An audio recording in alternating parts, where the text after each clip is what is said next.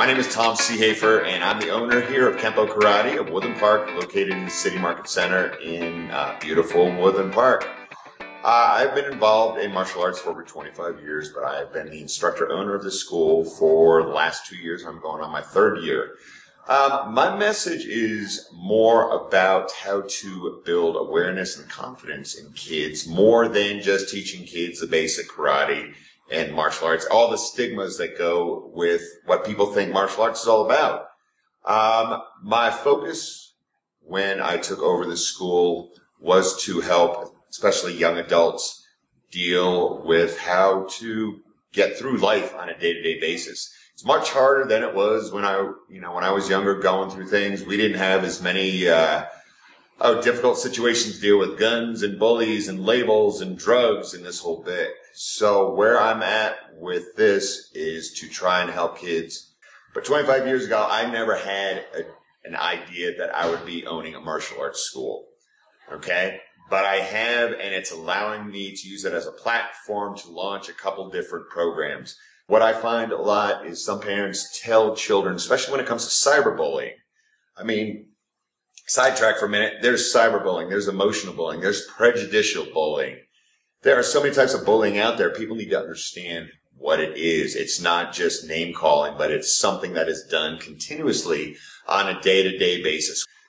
So what I've come up with, I have a couple different programs just to help young and old. I mean, my, I have two programs for young kids starting as ages five and up. I have a kid confidence program, which is about a 90 minute program, deals with, um, getting kids to understand, first of all, what bullying is and how to handle it in a nonviolent manner.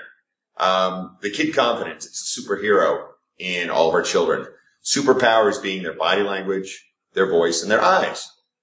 So if you, if I can get a child to understand what that's all about, how to stand confidently, how to look confidently, and how to use their voice confidently, that can defuse the situation a lot quicker. And that's what bullies don't like. They don't like being called out. So if I can get a child to understand how to do that, that makes me feel good. And that gives the chid, child um, a power that they didn't know they had. So my kid confidence program is doing really well. I've had a lot of uh, young adults participating in it, and I've had some parents coming too to attend it and see what it's all about. I do have a program for adults, which deals more with confidence and awareness and protection. Uh, man, woman, boy, child, whoever you are, it doesn't matter what shape or size.